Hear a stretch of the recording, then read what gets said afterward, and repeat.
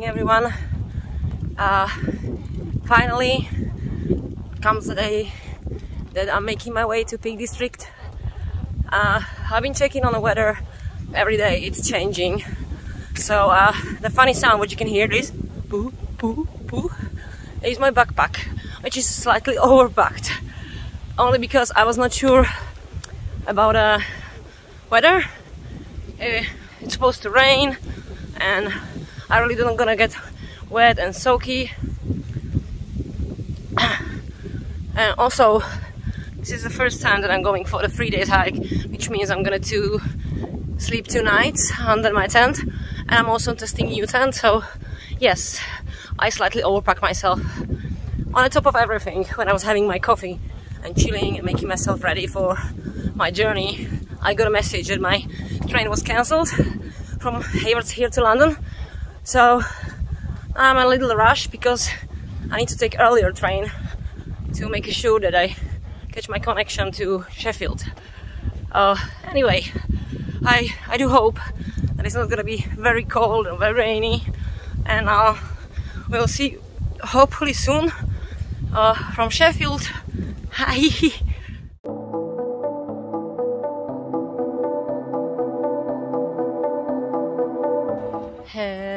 Hello from Peak District. So just arrived to uh, Hayfield. It's it's 12 o'clock and I actually can't believe I make it after all the can cancellation. The weather is not really the best one. It's it's it's cloudy. It's it's rolling over. Uh, partly sunshine and it's falling rain. Uh, light showers. Showers is the word. uh, I don't mind. I'm happy that I make it here and if it's gonna rain, it's gonna rain. Having a quick cigarette, a little bit of coffee and I will make my way up.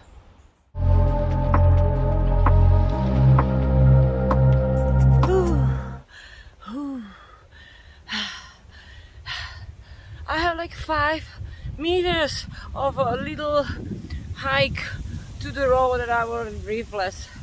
I always forget how how hard it is to uh, climb up or go up. Previously I planned to do like educational uh, vlog this time but because I was so lazy to write everything on a paper or learn it I'm gonna a little bit cheat so I decided to go through the snake path around the Kinder Reservoir and it says that opening of the snake path in 19 uh, sorry 1897 was the first series of success for Peak and northern society to public uh, blah blah blah blah blah. Anyway I decided to go all the way around so I can see the kinder downfall. Oh, very big. I can't fit through this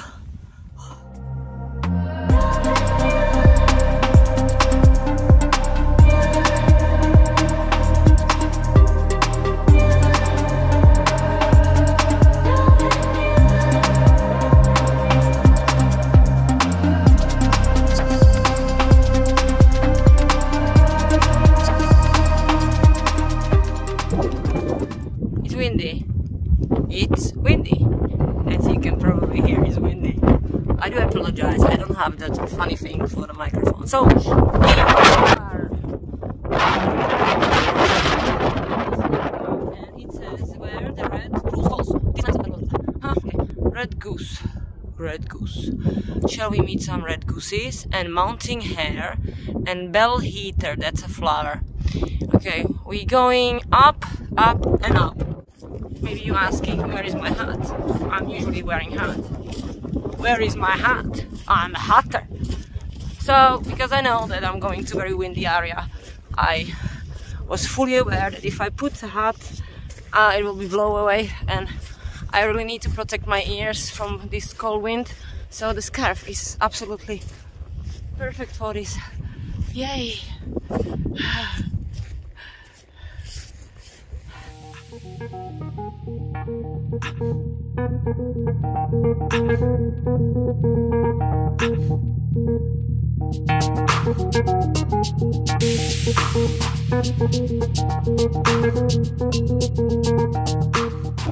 When I when I I previously talked about how the weather was changing from day to day, like two hours ago was heavy, heavy rain and black clouds, and now look at this. If it's clear, if it's clear, it's not beautiful how it's now. I mean, the shades from the clouds and how the wind is moving everything so quickly is so beautiful. I can't believe that it was so ugly like two hours ago. I hope this is gonna last. I believe this is gonna last. It must last. For the educational part of the Kinder Downfall, which is just behind me, I will zoom it in a second. I uh, watched this documentary that apparently when it's very windy it looks like this waterfall is falling backwards because of the wind so when I was watching this documentary I was not windy at all but here is the proof. It actually yeah it looks like it's falling backwards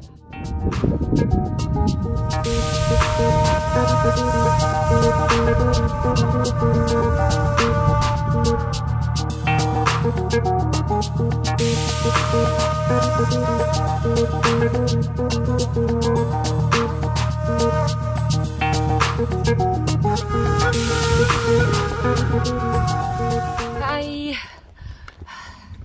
I took a, a little break at William Clough.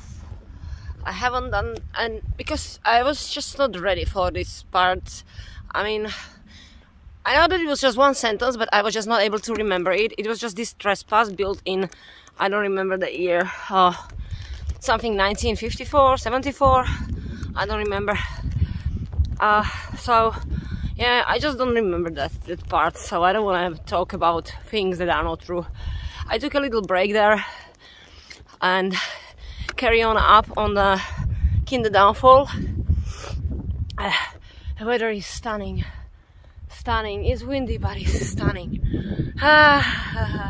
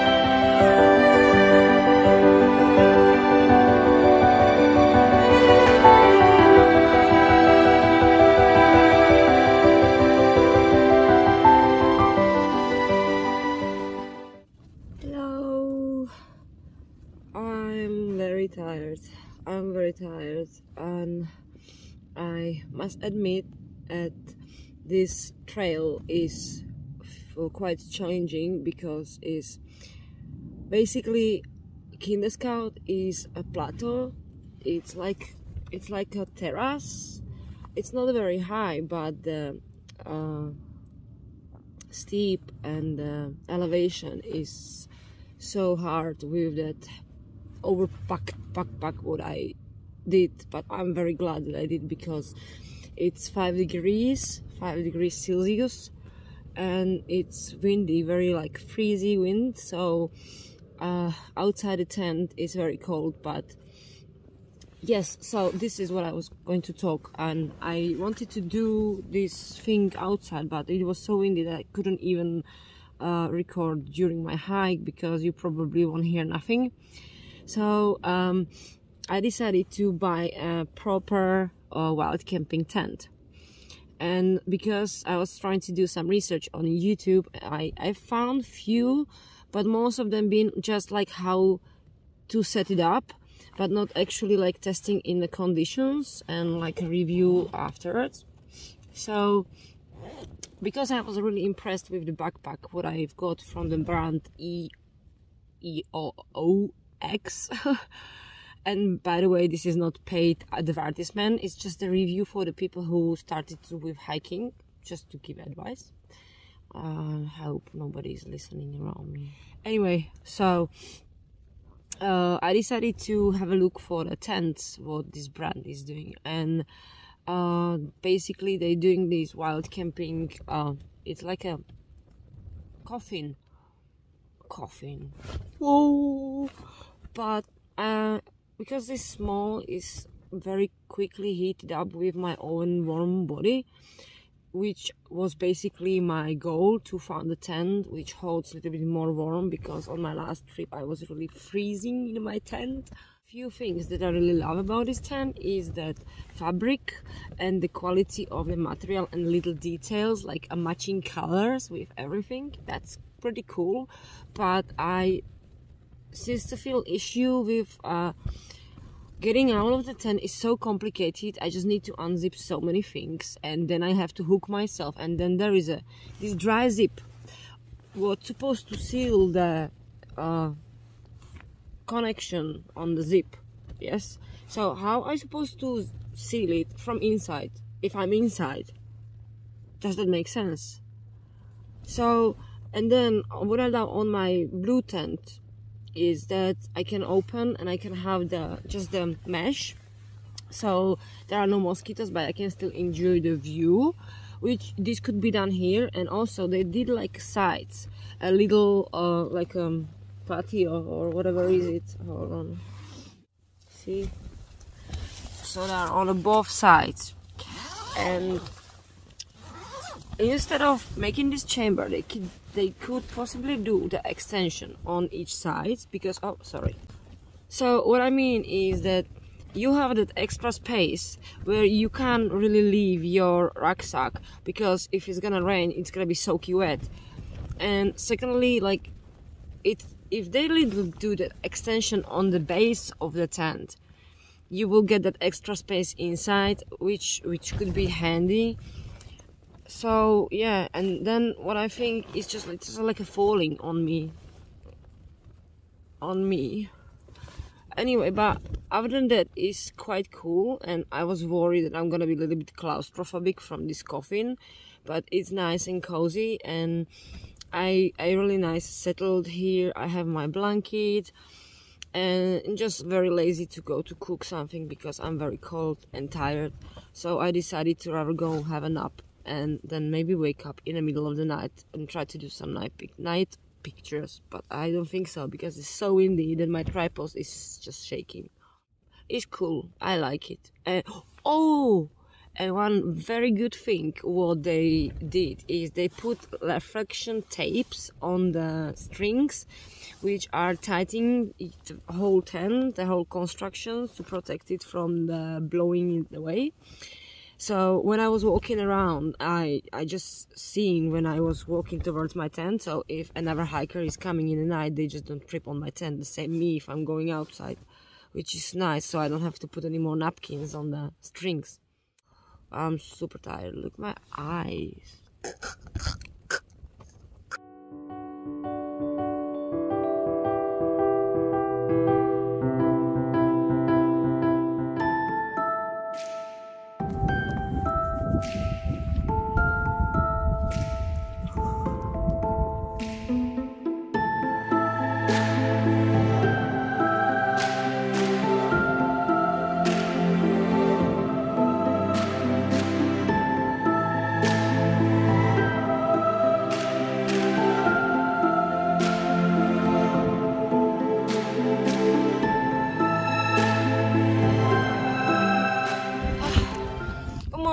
Everyone.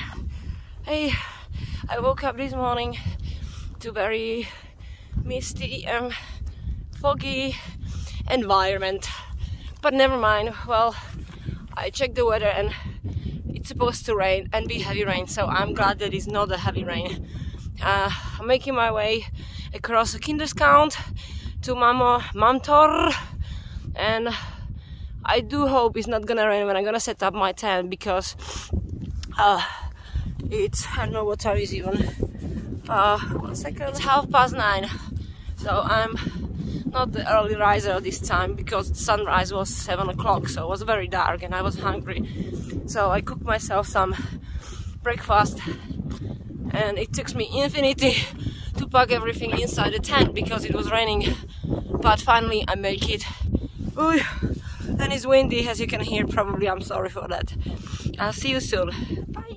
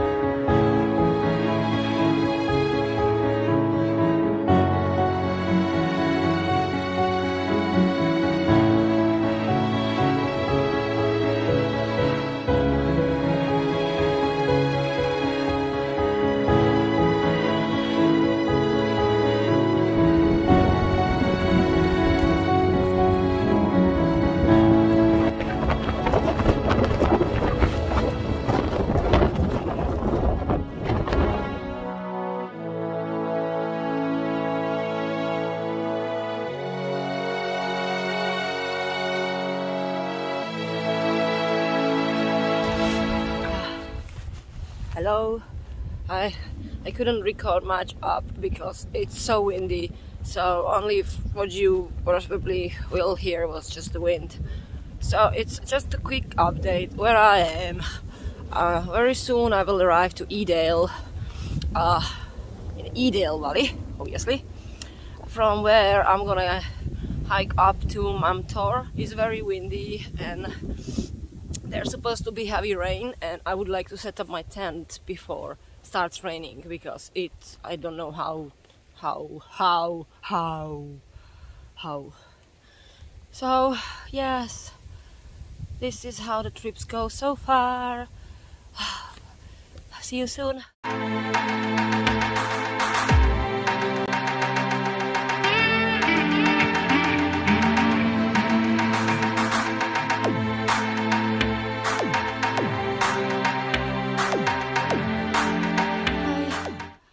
currently hiking up Mam Tor. It was very heavy rain when I was crossing Edale, so I'm a little bit soaky and it's a quite steep uphill, so I'm sweaty, hot, and you know what, I I realize it doesn't matter that it's raining. It's so peaceful when it's raining so fresh.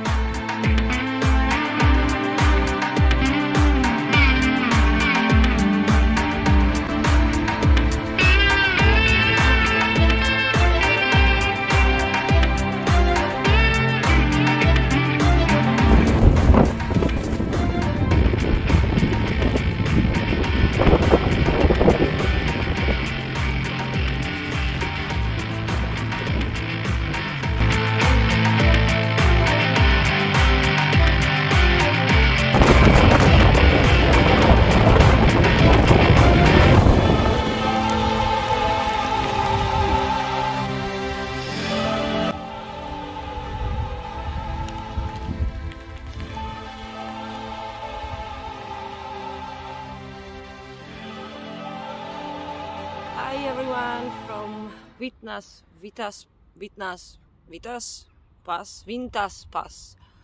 Doesn't matter. Oh my god, such a strong heavy rain caught me on the way here and uh, I'm soaky wet, everything was soaky wet. My sleeping bag is wet and uh, it was quite master to set up my tent because now, now not even one drop and all broke up. And when I arrived was absolutely such a strong heavy rain.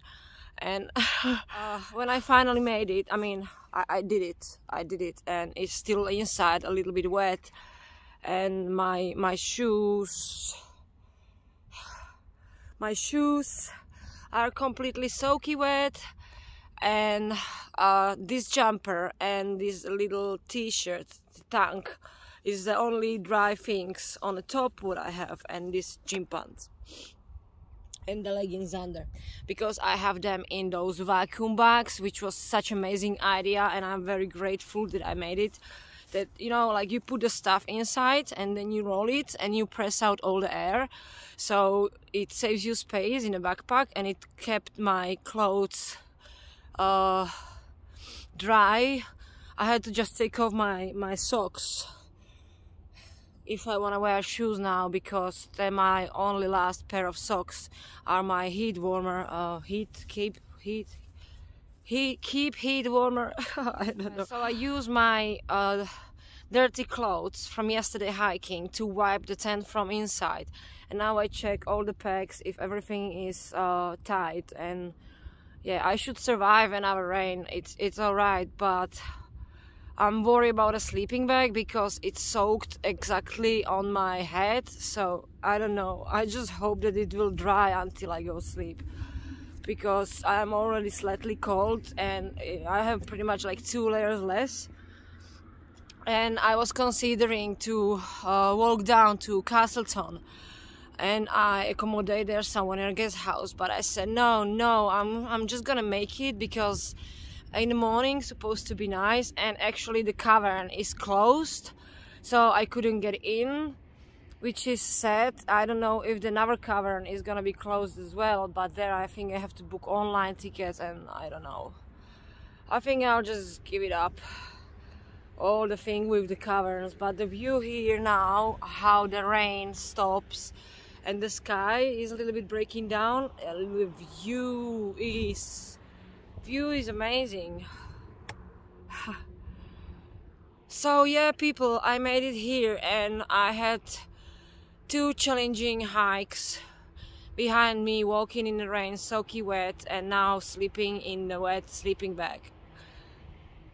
I think is another lesson and there is a reason why I choose to come here no matter what the weather was because I I wanted to uh, create a hab not a habit, but I wanted I, I would like to learn myself to sleep not just in a comfortable conditions like like was my first solo camping in the at the Dorset because there was no wind, no rain, it was perfect, it was warm, but not always is uh, nature kind and I think she he it nature is right now kind to me. That the rain stops and I could actually enjoy the view and don't regret that oh my god why I didn't go to the guest house. Because I think it's worth and no matter that I have a soaky wet shoes tomorrow I'm going home so fuck it. It's okay. You know we we're living just once and many million years ago when a people lived in caverns and million okay? Hundreds years ago when the people didn't have uh, houses and uh, electronic bins and um, ice machines and smartphones people lived in the nature and lived with nature and we don't choose what the weather is gonna be. We don't choose if it's gonna rain or no we just need to adapt like sometimes the circumstances in the life we plan that this is the way how he want how we want to want to want to have a things but not always the things goes this way and then we have option or we just gonna fight with it or we just gonna quit and go in our way or we just adapt to it depending how is related to our goal so in my case my goal was to come here and i spent the time and effort and i was working to save the money for the ticket here and practicing to see this view no matter what and i just adapted to it and i flow with it again I don't know what I'm talking about right now, but uh, I think you get the point that I mean I found the perfect spot. I think people camp here. I've seen this spot on so many videos. Uh, actually, from the last one that was the sunset. Guy has amazing sunset with the clouds. Well, I don't think that today I'm gonna see sunset, but the sunrise maybe. But anyway, I'm I'm I'm glad that I made it. I've been thinking, obviously. when I when I was under the Mam Tor because I wanted to give up. I was so wet, but it's experience, I guess. It's like maybe giving up in a life of the things.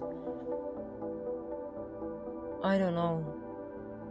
I don't know. I don't know even where I found the power in my because my arms starts to hurting me and my legs and my my hip flexors.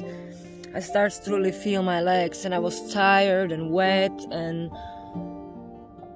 I wanted to give up but now it is not even wind. It's not sunshine but it's not raining. It's not raining which is so good.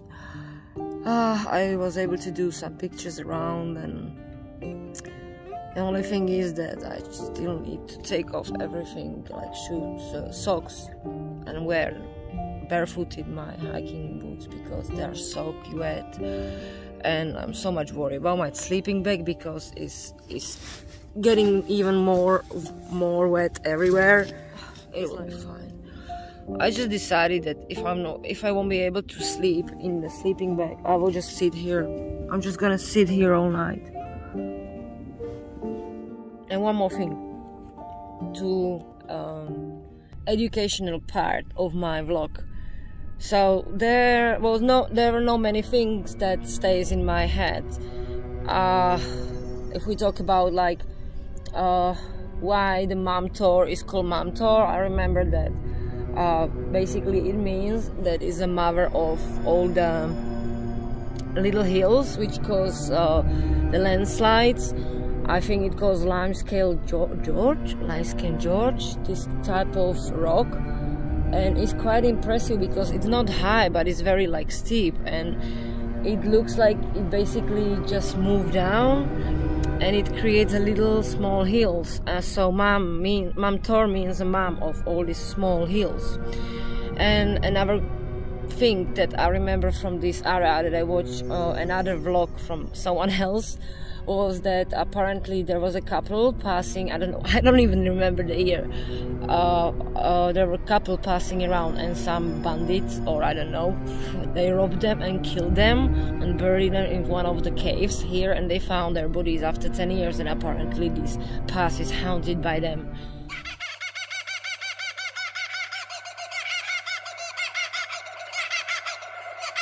so it's a bit spooky and I believe in this kind of energy so what I did I brought my uh, Palo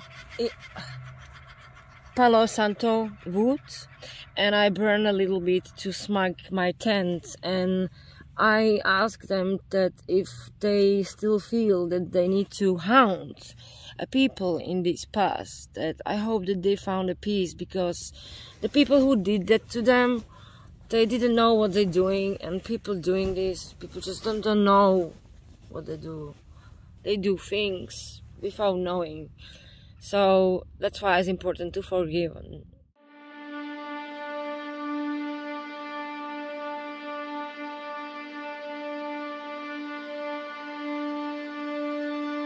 This is our current reality in my tent. It's freezing cold. I'm freezing cold. By the way, is no way that in this tent fits two people with equipment. No way. I fit here on my own perfectly, not two people, not two mans, like a man, like a boys. It's half past five. Outside is pouring down and it's windy and it's like 5 degrees Celsius but it feels like zero.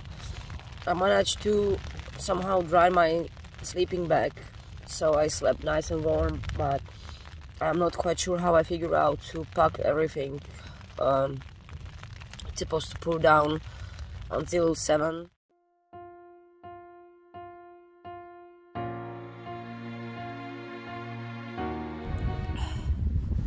Good morning everyone. Is maybe 7 o'clock morning. It's very cold. It's very cold. My jacket is still wet. So I'm wrapped here in my sleeping bag and it stops raining but it's no sunrise. I mean there is a sunrise but I don't see it. It's very cloudy and uh, I have a little bit sore throat from yesterday how I get soaky. Uh, I think I think I'm just gonna packed everything and tried to move myself to Castleton because it's very cold. Bye.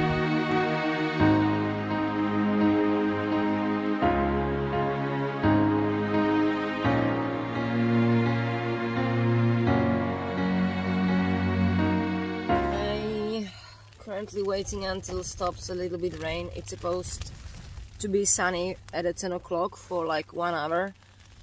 Uh, although now it looks like sunny and warm and there was a rainbow, it's still raining and very heavy rain. So I'm trying to be patient and um, prepare myself here with the backpack and everything just to get out, pack the tent. Like I will just literally roll it in and we'll go down to the village. I managed to save some warm clothes uh, for later in a train, so hopefully everything will be fine.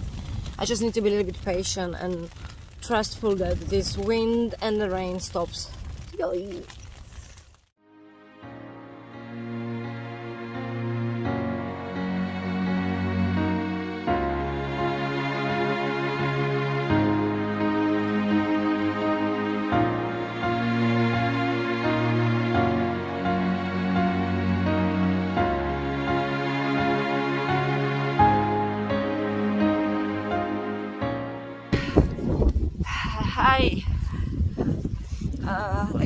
morning. Currently walking uh, down Vinats Pass. I decided to walk back from where I came from and walk it also through the down like I did from up only because the views are uh, just incredible and uh, the weather shows up so nice as well I'm so glad that I patiently wait uh, in my tent because uh, after the rainbow there comes another heavy storm, a storm, heavy rain.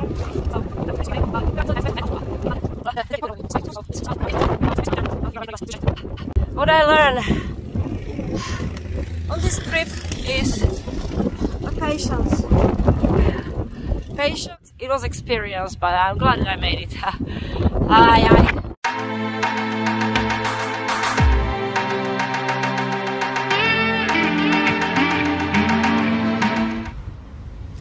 So, day three. I'm currently at a Speedwell Cavern, uh, going to visit uh, one of the longest uh, shaft in Great Britain. is 143 meters long and is 800 meters under the Speedwell, the hill, probably, I don't know. and uh, all visit is on the boat, so yeah, I paid the ticket 16 pound and I can't wait. My boat is coming 1140.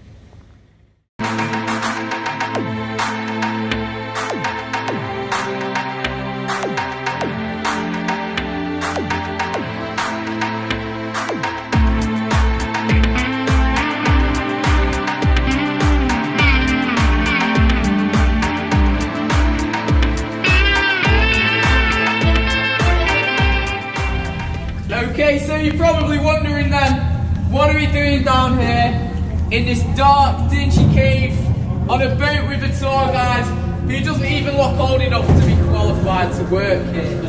Well, we are going to skip straight past that question. Let me introduce you to Speedwell Cavern. What we're travelling through right now is an old 18th century lead mine. Now this lead mine opened in 1771 and closed in 1791 after just 20 years of operation. Now the reason that it was only open for 20 years is because this mine was a huge financial failure. What we're going to come up to in a few moments time is the first vein of lead that the mine has found down here. It's called the Little Winster vein. Little because it's quite physically small. It's only about 68 centimetres wide and 1 metre high. And Winster because that is the name of the 7 year old boy that would have worked down in this vein of lead for 13 hours a day, 7 days a week, with just 2 hours off on a Sunday so that he could go to church. And as we go past it, I'd like you to imagine yourself as a young 7 year old working down in this vein of lead. It goes about a further 7 or 8 metres backwards from what you can see. And at the end of the day, it gets so tight back there, Winston would have actually had to crawl out backwards. Here it is now, just on the left, so if you look over to your left hand side now, That's a Little Winster Vein, where Winster would have worked for 13 hours. Unfortunately though for Winster, tallow was corrosive, and he would have had this candle in his mouth all day like I said. Corroded his mouth, his teeth, and eventually stomach lining. And because of this, Winston did not make it past his 14th birthday. In fact, according to the Minekeeper's book, he died just two days before it. So a nice positive start to the tour.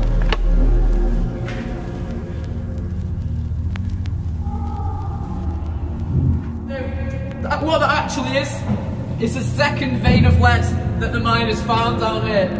It's called the Longcliffe vein, and it was the most profitable vein of lead that they found. They actually got about £3,000 worth of lead just from that one single vein. That is because behind all of them bricks there is lots of loose and unstable old mine workings which include lots of this loose rock shale which could tumble down here into the canal at any time filling it up.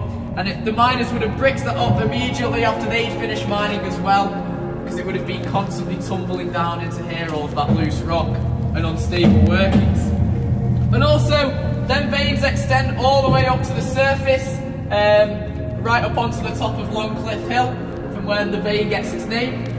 So as you can imagine when it rains up on the hill, water would wash down here into the canal. It washed down all of that loose rock, dirt, grass, sand, whatever, rubbish. There's even one supposedly a sheep that managed to find its way all the way from the surface of the hill down here into the canal.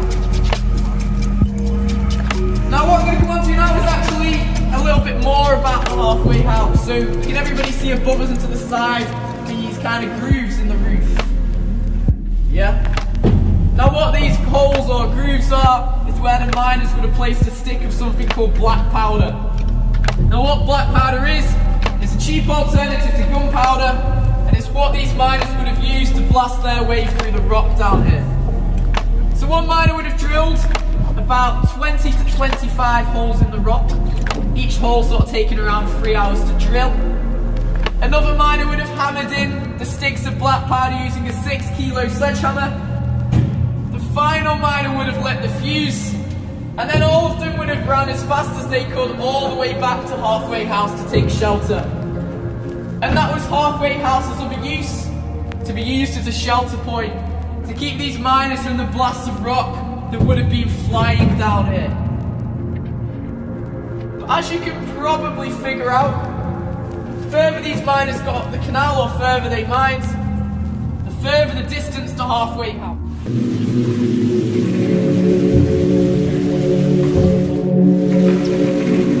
Enough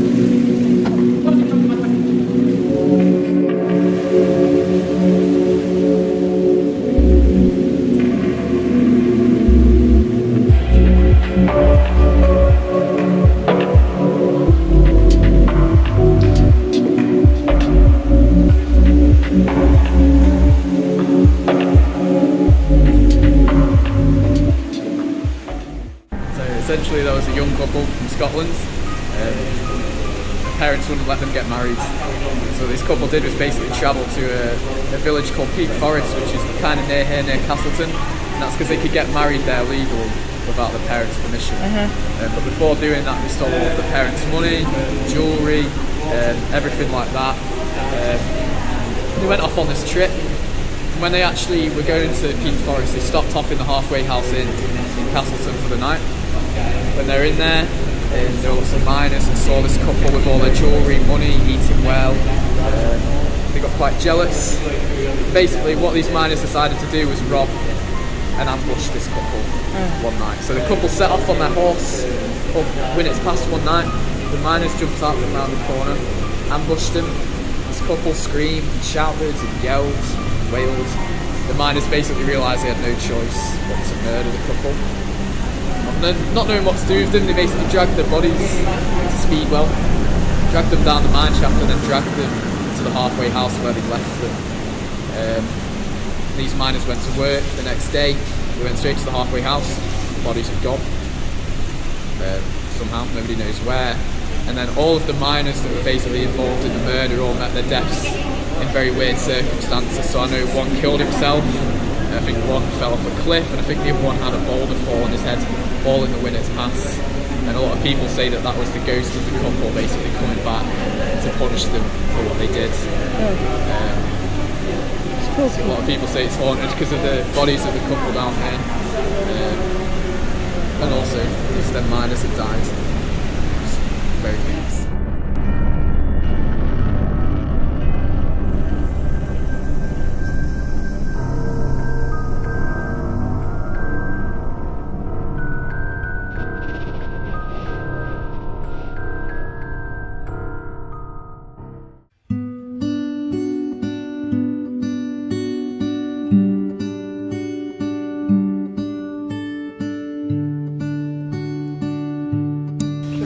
Castletown heading off on the bus which is supposed to be already here to Sheffield and from there on a train home.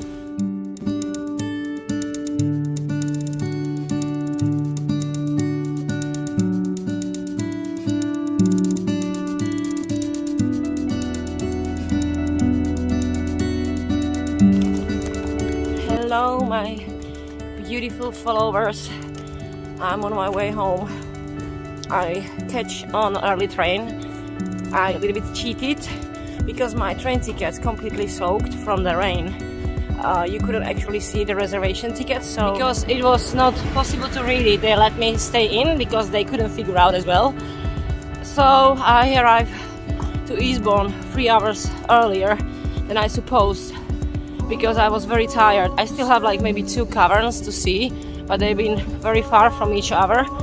So I give up because I was really tired and I have a pain in my arms and in my legs and soaky wet feet. So I rather decided to just go home. Maybe another time I will see different cavern. I got myself vegan burger because I was not able to cook. This is my food. What I learned on this trip is mostly patience. That sometimes it's better to wait until the rain stops. Because if I waited in a John's Blue Cavern, I could set up tent in the dry conditions. Uh, about this is also my trips that I'm learning every time something new. So in all the wild campings what I did so far, I haven't got any rain, luckily.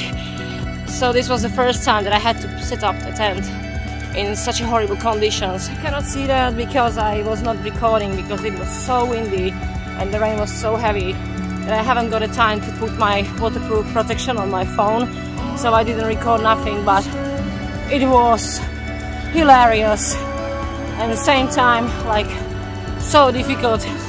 I never ever set up tent in such a heavy rain like I had on uh, Vitas Pass, Vintas Pass, Vinatas, Vin, Vina, Vinatas Pass. Mostly, but I'm of proud of myself that I didn't give up. It was worth it. And actually, first time ever, I made whole route what I plotted previously on my map. I thought that this is gonna be my last trip of the season because I am not considered about me handling very uh, cold conditions in mountains, but I decided that I will do one more, and that's gonna be at the Lake District. I didn't choose yet. I didn't choose yet any location. Hopefully, in November, I will see you from a Lake District. Bye!